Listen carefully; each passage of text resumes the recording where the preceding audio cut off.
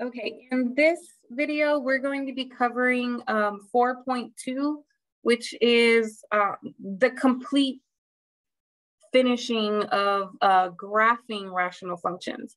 So I mentioned in the previous section that we only knew enough information to find the asymptotes. We did not have enough um, information or strategy to actually graph the whole thing ourselves.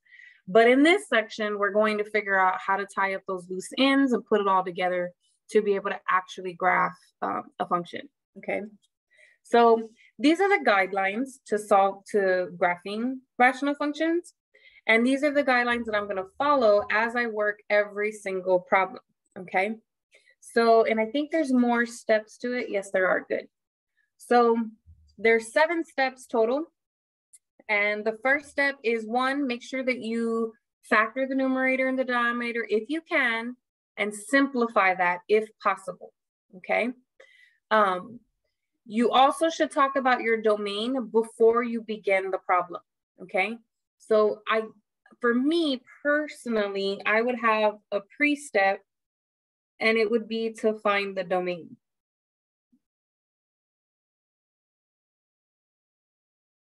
Of f of x, just as it is without simplifying it. Find that domain, okay? Um, and that's gonna be important later in case you get into certain situations. I don't know if they're gonna come up in this section or in this chapter, but they do come up, period, when you talk about rational functions.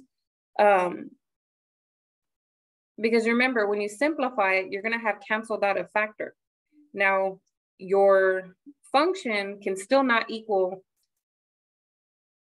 can still not have a certain X value plugged in.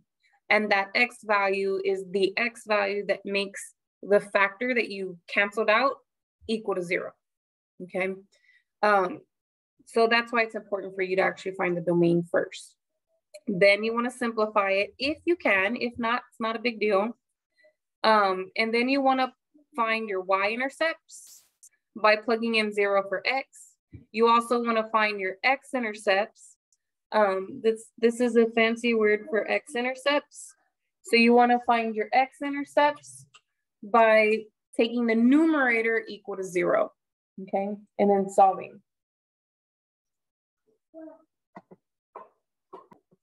And then step four is to um, find those vertical asymptotes. So any zeros in the denominator. If you've already done step one, then you probably already know. Um, if you did step one and step two, you probably already know the vertical asymptote. Um, and sometimes one of the guys from this pre-step is a vertical asymptote and one of them may not be. It just depends on the scenario and I will explain it if it comes up, okay? Um,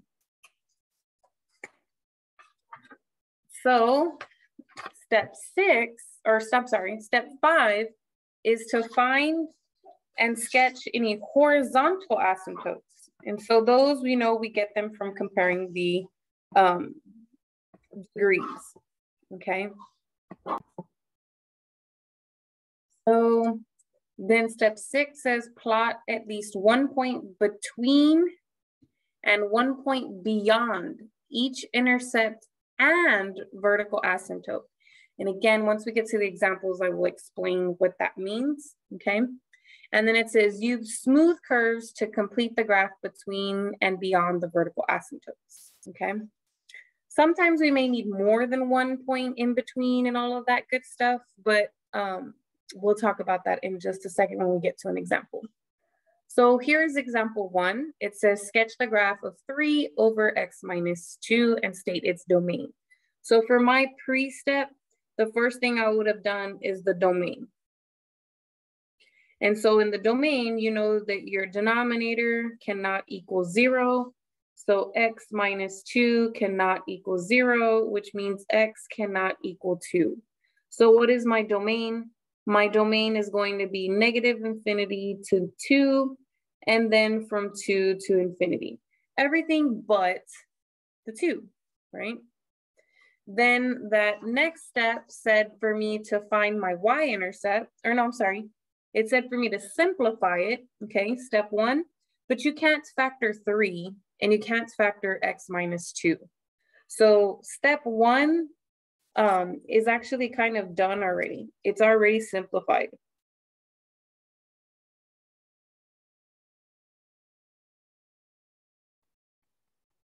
Okay, now step two says for us to find the y-intercept and you get that by plugging in zero for y. And so then you end up with three over negative two, which is just negative three halves. So that is my y-intercept, zero that I plugged in for x, and then negative three over two that I get for y, okay? Now step three is to find the x-intercept. Remember to do that, you have to take your numerator equal to zero and solve.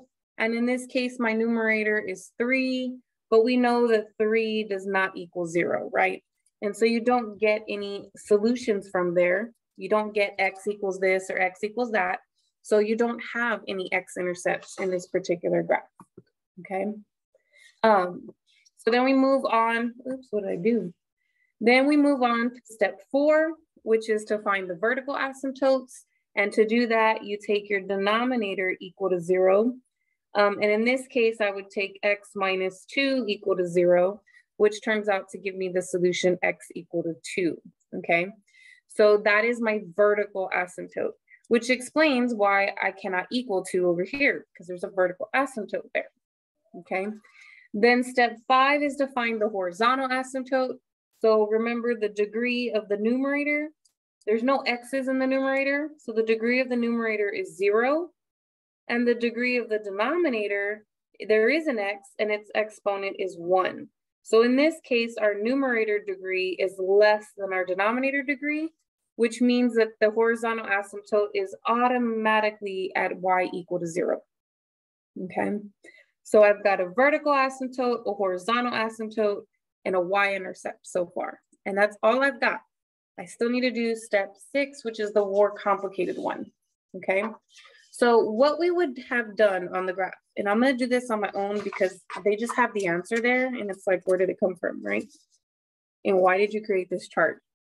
So if I mark my um, vertical asymptote at x equal to two, it's the same vertical asymptote that they have here, okay? Then I'm gonna mark my horizontal asymptote, which is y equals to zero, which means it's on top of the x-axis, okay? So that's the horizontal asymptote. Now you can't really see it, I mean, never really draw it on top of the y-axis, or I'm sorry, the x-axis, but it is there, okay? Then what they do is they marked the y-intercept. So the y-intercept was zero and negative three halves. So that's negative one and a half. So that would be negative one and a half would be about right there. So that's the y-intercept. And we did not have any x-intercepts, okay? So you do have this one point here. Now that helps me because I know that um, my end is going to trail off toward this. And I know, and I know that I can't touch the x-axis, right? Because we had no x-intercepts. So I cannot touch the x-axis. That gives me no choice but then to go close to the horizontal asymptote. Same thing here. I can never cross a vertical asymptote which gives me no choice but to go downward in that direction, okay? And so now this has created this little parabola, okay, which is the same thing that they have there. Now, I didn't need any extra points to figure that out. I just used my logic and the information that I knew about the x-intercepts and the information I knew about the asymptotes. That's it, and that's all I needed. I have a value to the left of my um, asymptote. But what I don't have is anything to the right of the asymptote. So I don't know if the other curve is going downward as well, or if it's going upward. I don't know that based off the information I have. So this is why you would have to plug in another number, like maybe three, and figure out what the y value is. And so if I go to that function, 3 over x minus 2, I'm going to plug in the x value, 3 minus 2. I get 3 over 1, or just 3. So that means at one, two, three, there's a point there at three comma three. Okay, then that gives me all the information I need because I know that this now will go in this direction because it's up here and this will go in that direction eventually, okay? Um, and so we have our graph here, okay? And that's all we need. We don't need so many points like they do. All you need to know is where is the picture down here or up here? Is it on the left? Here's your inner asymptote. To the left of the asymptote, is the graph at the bottom below the horizontal asymptote or is it above the horizontal asymptote? And then figure out what's going on on the right side. Is the graph below the, the horizontal asymptote or above the horizontal asymptote? Okay. Now, there are other asymptotes. Um, there's another asymptote called a slant asymptote. Because so far, all they told you is how to find the verticals, right? So verticals are found by taking your denominator equal to zero. And we know horizontal asymptotes happen when the degree of the numerator is less than the degree of the denominator, or when the degree of the numerator is equal to the degree of the denominator. However, it told us that if the degree of the denominator was greater than, then there was no horizontal asymptote. What they left out is that there is actually possibly an asymptote, it's just not a horizontal one, okay? And the other kind is a, an, a, a slant asymptote. Now this one's very particular though, okay? So the degree of the numerator is exactly one more than the degree of the denominator. So yes, in this case, the degree of the denominator is bigger than the, than the denominator. The numerator is bigger than the denominator, but by exactly one. So for instance, if I had x cubed over x minus one, this does not have a slant asymptote because the degree here is three, the degree here is one, and that's more than one difference. Whereas if I had x squared over x minus one. Here the degree is two, here the degree is an invisible one, and so it is bigger by exactly one, okay? And how do you find that slant asymptote? You actually have to perform long division in order to find that asymptote. So it's not as easy to find as some of the, um, as the vertical and the horizontal asymptotes, okay? So they give you an example here. Remember the degree is the highest exponent. So in this case, the degree of the numerator is equal to two. And then the degree of the denominator is equal to one. And the numerator is bigger than the denominator by exactly one number.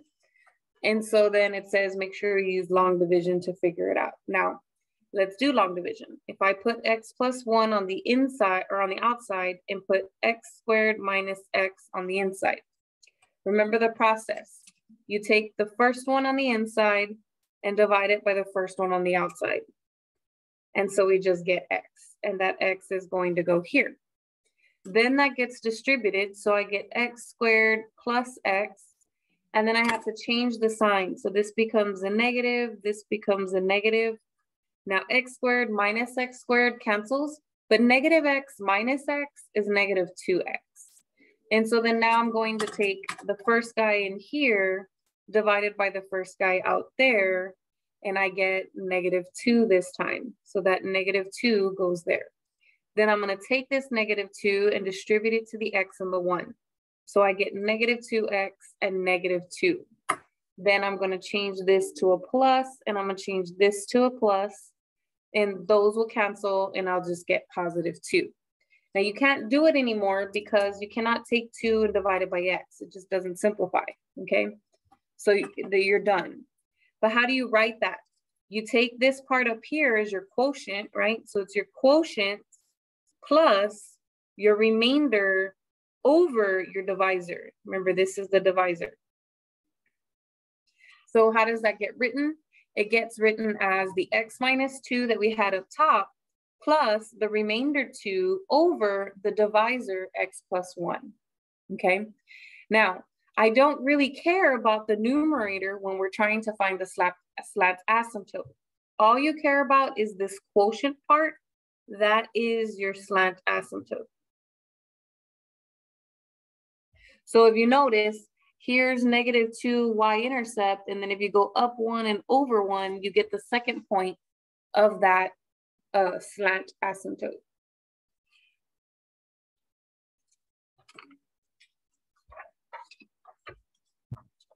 So now example two says for us to sketch this graph, okay, and state its domain. So the first step that I do is my pre-step, and I talk about that domain, okay? And in this case, we know that your denominator cannot equal zero, so x minus one cannot equal zero, which means x cannot equal one. So what is my domain? My domain is negative infinity to one, and then from one to infinity, okay? Now, step one though, is to simplify it. So you can actually factor this. And when I factor it, I get x minus two and x plus one, but nothing cancels. So it doesn't um, necessarily simplify, okay? So this one does not simplify. But having it in this factored version is super helpful, okay? So in order for me to do step two, which is to find the x-intercept, the y-intercept, I'm sorry, we're going to use, um, oh, what did they do? No, I wouldn't use this version. I would use the factored version they got. They're just leaving this here from the long division that we wrote earlier. Oh, no, they're not. They did long division. This is a completely different problem. Um, ew, it has to be simplified. So you have to perform long division when your top exponent is larger. So I have to do the long division. I don't even have an option at all. I have to do long division. So let's go do the long division. You have your denominator and then you have your numerator.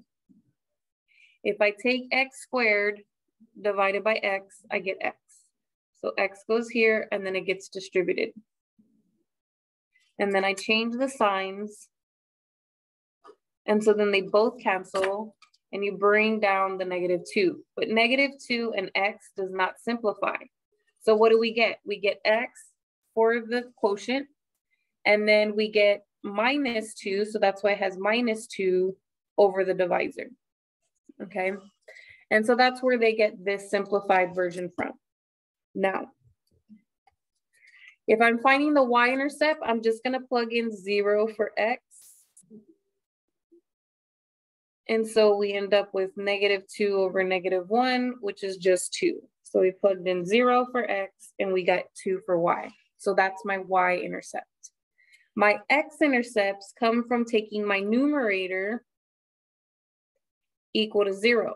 Now you already factored this, so you already know what it's gonna factor into when you try to simplify it. So then I get x equals to positive two and x equals to negative one. And so those are my two intercepts. When x is negative one, the y was zero. When x is two, the y is zero. Those are my two x intercepts. Then step four is to do my vertical asymptote. So remember, you're taking your denominator equal to zero in this case, x minus one equals to zero, which gives me the equation x equals to one. Then for step, um, where did my mouse go? Um, anyway, um, so we know that when we did the long division, we got this, right? So this right here is my slant asymptote. Right? Whatever we got up top is our slant asymptote. So let's think about this when I'm graphing, okay? You've got the line x equal to one.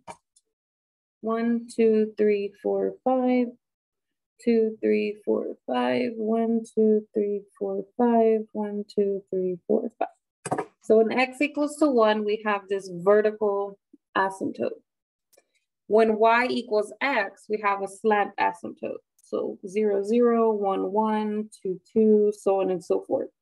So we have this line that's slant asymptote. Now we do have a y-intercept of zero and two, and we do have two x-intercepts, negative one and zero, and two and zero. So right here. So I don't really need anything any extra points. I don't need these additional extra points at all. I already have these two points, so I already know what's happening.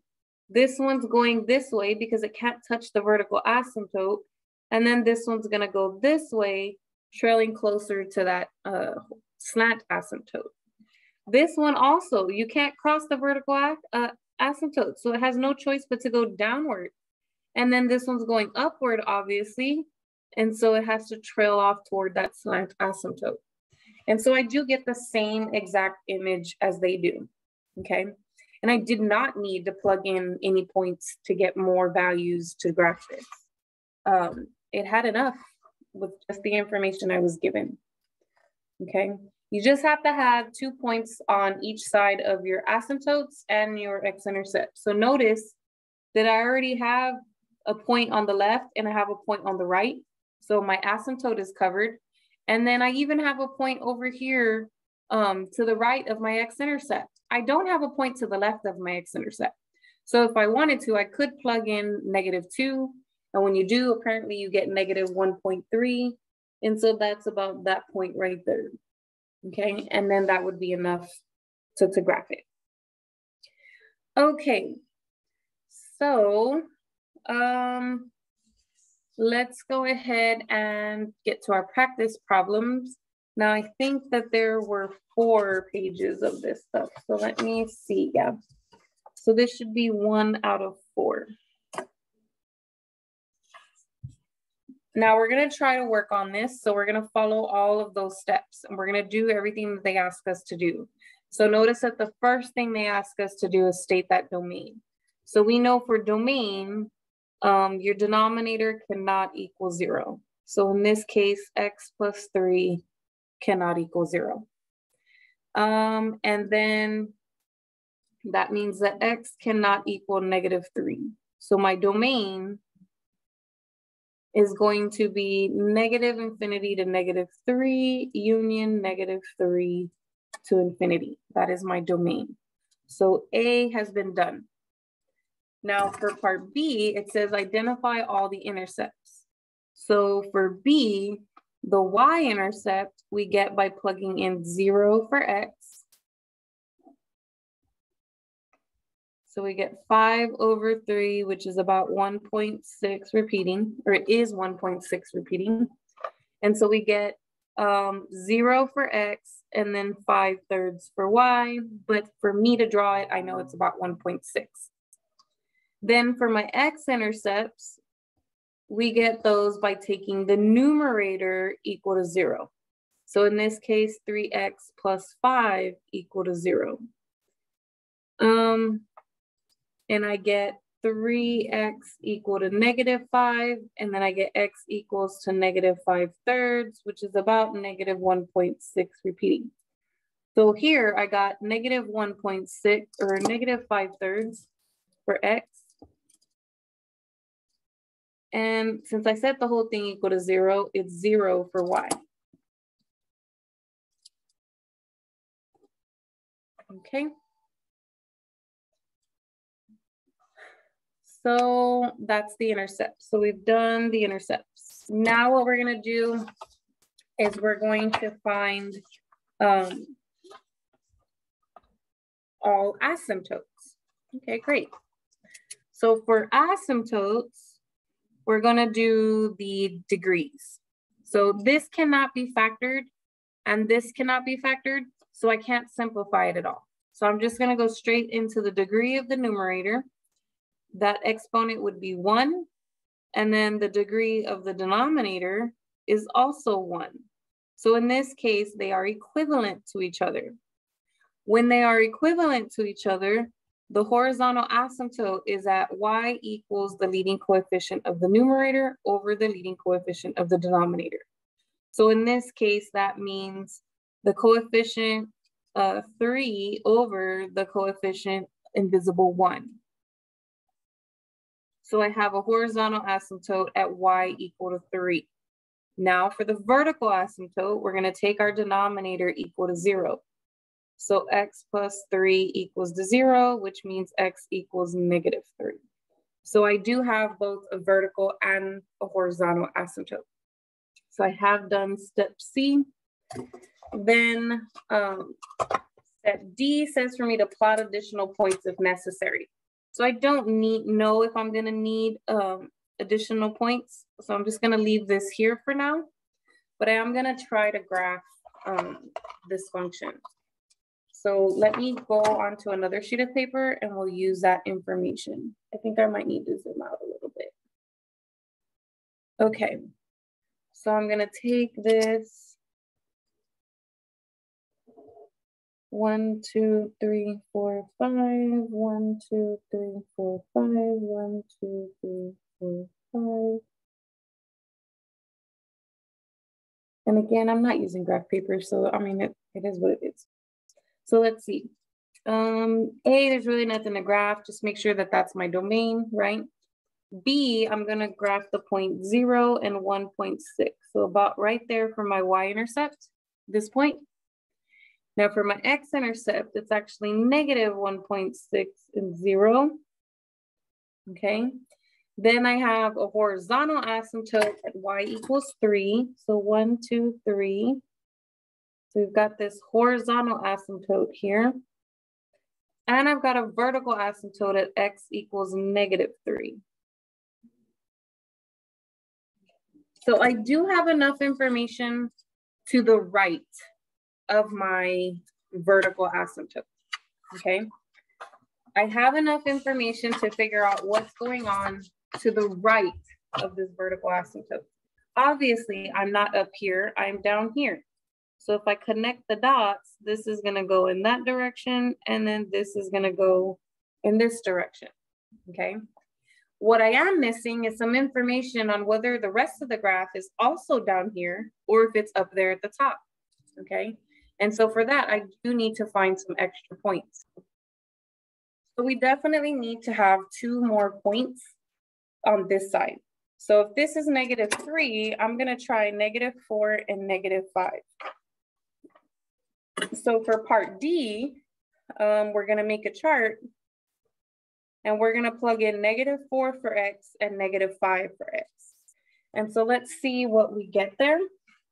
Um, if I plug in fraction, three parentheses, negative four plus five over negative four plus three, I get the Y value seven.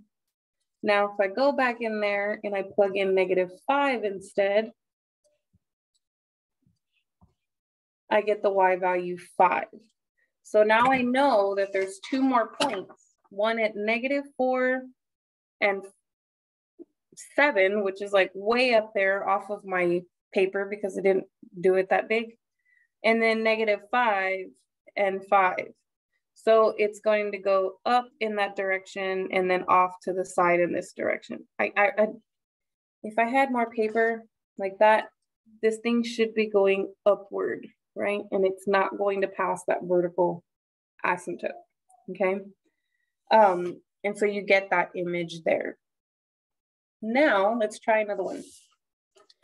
So now here it says practice two. So again, two of four.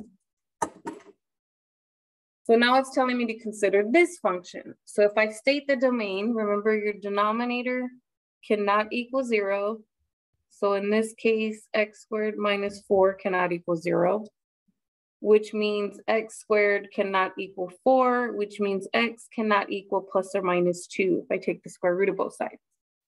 So then that means my domain is going to be negative infinity to negative two, from negative two to two, and then from two to infinity. Everything from negative infinity to positive infinity, just not the negative two and not the positive two. Those have been removed. That's why there's parentheses, okay? Then um, that's part A. Part B says for us to identify any intercepts. So if I wanna find the y-intercepts, I'm just plugging in zero for x. I get zero over negative four, which is just zero. So my intercept is zero for x and zero for y.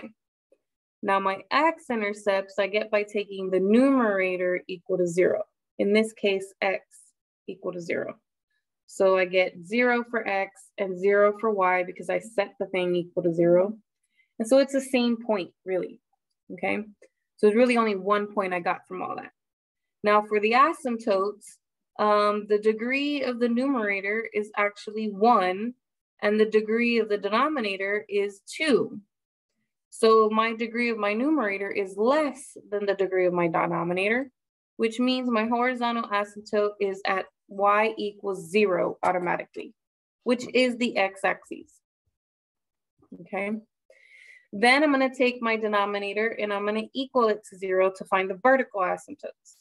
So I get x squared minus four equal to zero. Essentially, you're doing the same thing here. So you get x equals plus or minus two, which means I have two vertical asymptotes. Okay, so you have two vertical asymptotes. And then I won't know if I'm gonna need any more extra information until I graph this. So bear with me. One, two, three, four, five. One, two, three, four, five. One, two, three, four, five. So let's see what we got here. We know we have the y-intercept and x-intercept zero, zero.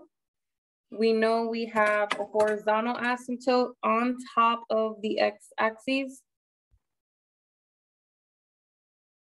We have a vertical asymptote at x equals negative two and at x equals positive two. Okay, and that's it. That's all I've got so far. So that is definitely not enough. So I am going to have to create a chart. Um, and when I create this chart, I need to find, I need to find at least two points over here to the left, okay? Or really just one, because if I know that it's up here, then I know it'll go like that. And I know if it's down here, it'll go like this, okay? So I really just need one value for the left part. And that, since that's negative two, I'm gonna plug in negative three for x. Now in between, I need to know whether this half is going up or going down. And I need to know whether this half is going up or going down. So I actually need to plug in both of those x values, negative one and positive one. And then I also need another point up here so I could know if it's positive, the graph will go like that, but if it's negative y, it'll go downward, okay? So I'm also gonna need another x coordinate, maybe positive three. So I'm gonna plug all of those into the original equation. So negative three over, oops, negative three squared minus four. And I get um, negative three fifths, which is uh, negative 0 0.6. Now we're gonna do the same thing, but we're gonna plug in negative one. I didn't want that negative in the front. It. It should have been in the top, but I don't think it makes a difference. I still get the same answer. But now I'm gonna plug in negative one in the top and negative one downstairs. And I get one third, which is about 0.3 positive. Now I'm gonna go back and I'm gonna delete the negatives because now I'm plugging in positive one. And I get negative one third, which is about negative 0.3. And then let's go back and plug in positive three for X. And we get positive three fifths. So it's positive 0.06. So let's graph all of those points and see what they look like. So at negative three, I have negative 0.6, which is about right there. At negative one, I have 0.3, which is about right here. Then positive one and negative 0.3 is about right there. And positive three and 0.6 is about right here. And so now we can kind of see where the graph is going. So it's going upward to the left of this XY intercept. It's going downward to the right of the XY intercept. And then on this side, it's up above the horizontal asymptote. So it'll go toward the asymptote there and go toward the asymptote here. And then to the left, it's gonna go toward the asymptote there and go toward the asymptote here, okay? And then this is the graph of the function, or it's a sketch of the function. Okay, let's now keep going. We're gonna go to our third example. So in our third example, it again is asking us the same stuff. It's they're just changing the functions, okay? So it says for us to first state the domain. Well, we know that the denominator cannot equal zero. So x cannot equal zero, which means that the domain is negative infinity to zero, and then from zero to positive infinity, okay? And then for me to find the intercepts, I'm gonna plug in zero for x. Oh, but then that's undefined. Three over zero is undefined, which means there's no y-intercept. But when I go to find the x-intercepts, I'm gonna take my numerator equal to zero which if I minus three, I get x squared equal to negative three. And if I take the square root, I get plus or minus the square root of negative three, which I know is imaginary. So now I know I have no x-intercepts. So great, no points. Probably gonna need a chart for this one, okay? Um, then find all my inner in uh, asymptotes.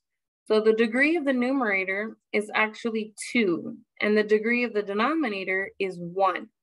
And so the degree of the numerator is bigger than the degree of the denominator by exactly one. What does that mean? That means I have a slant asymptote. You also might see the word oblique. It's the same thing. It's just two different names for the same thing. Some books call it an oblique asymptote and some books call it a slant asymptote. How do we find it? We have to do the long division. So we're gonna do x into x squared. I do not have any x's, so I need to fill in that empty spot and then my constant, okay? So x squared divided by x is x. And then x times x is x squared. Um, and then you would change the sign so this becomes negative. Then that cancels, I would bring down zero x divided by 0 is just 0. I'm sorry. 0x divided by x, this guy divided by that guy is 0. So you don't even need to write anything. Um, but if you did, 0 times x is 0x, and then you bring down the 3. So if I change this sign and I change this sign, I just get negative 3. And you cannot do negative 3 divided by x. It doesn't simplify. So my slant asymptote is going to be at y equals whatever's up there, x plus zero, or just y equals x, because x plus zero is just x, right? Okay, and then now we might need to create a table. So I'm not sure what numbers we need in our table, but I'm pretty sure we need some numbers because we have no points, okay? So let me draw this real quick. One, two, three, four, five. One, two, three, four, five. One, two, three, four, five. Okay, so y equals to x. And I forgot to do my vertical asymptote.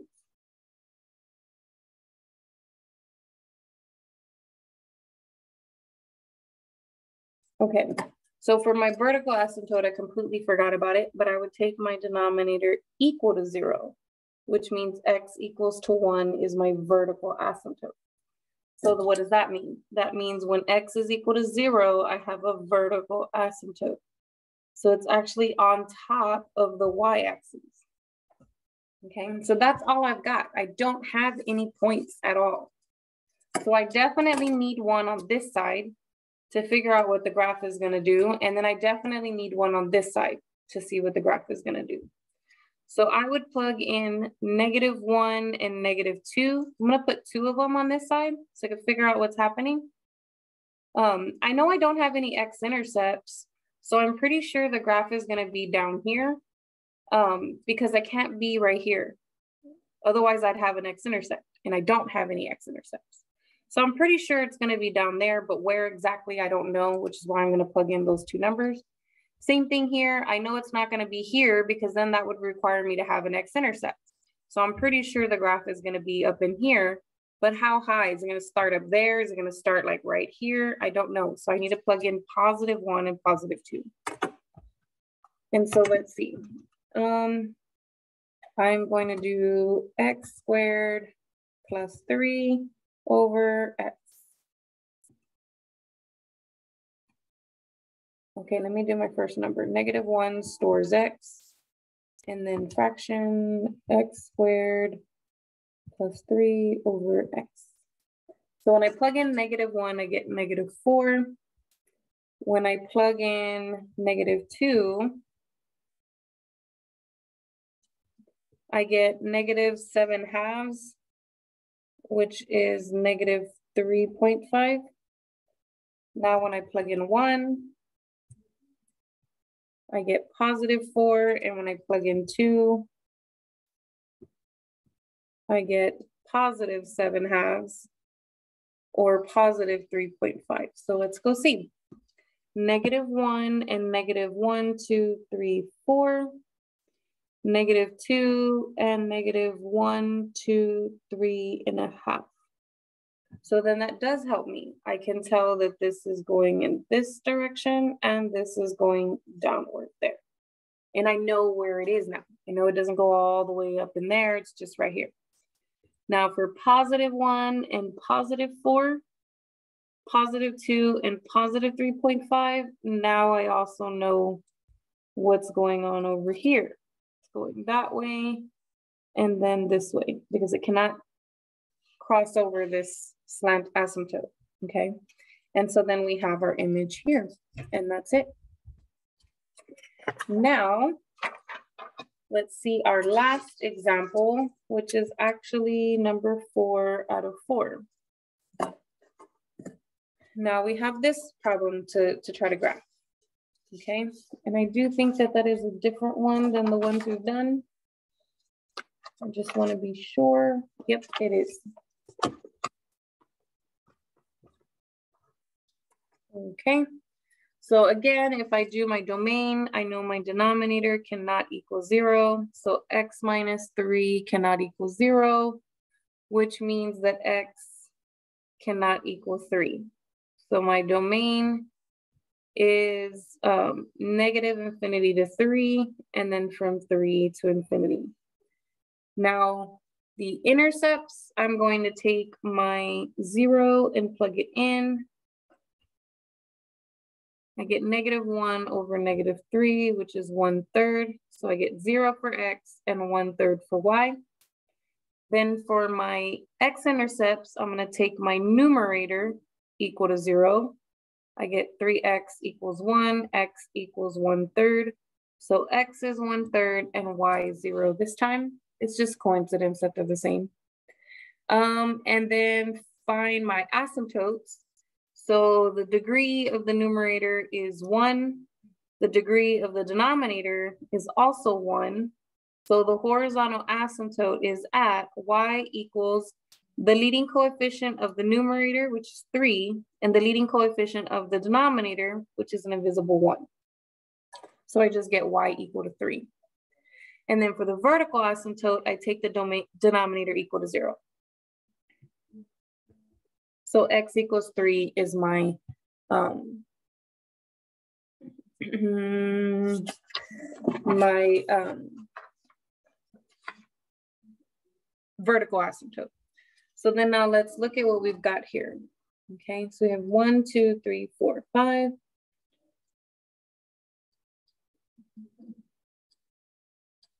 So we've got, what do we've got? We've got the point zero and one third. So it's about right here for my y-intercept.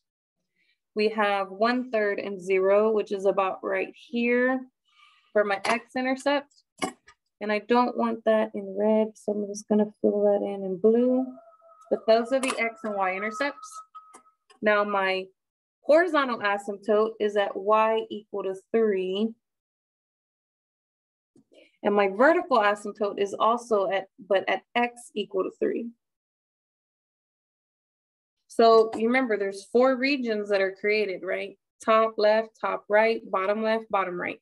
I already know what's happening in my graph on the left side of this asymptote. I've got these points here, which means I'm gonna go downward that way and I'm gonna go this way, okay? I already know that that's going to happen. But what I don't know is what's happening over here on this side. So I'm gonna have to create a table and plug in some numbers like four and five. And so let's see what we get. Three, three times four minus one over four minus three. I get um, 11. And then when I plug in five, I get seven. So that means I have at four, and what did I do? I went up to five, right? Six, seven, eight, nine, 10, 11. So that means at four and 11, I have a point. And then at five and seven. So three, four, five, six, seven. So about right there. Well, then that's pretty obvious, right? If my asymptote is still going up, you've got this part going up there and then this part going down that way toward your horizontal asymptote over here somewhere. Okay. And so that is the last um, graph, the last problem for this section. So hopefully putting all of that information together, finding your domain, finding your intercepts, finding your asymptotes, and then looking to see, draw what you've got and see what else you need to fill in the rest of the graph, okay? Um, but other than that, that is the end of this section.